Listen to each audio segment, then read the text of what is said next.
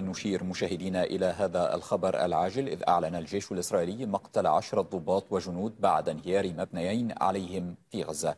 كان الجيش أعلن كذلك مقتل ثلاثة ضباط وإصابة ثلاثة من جنوده في معارك غربي خان يونس جنوبي قطاع غزة.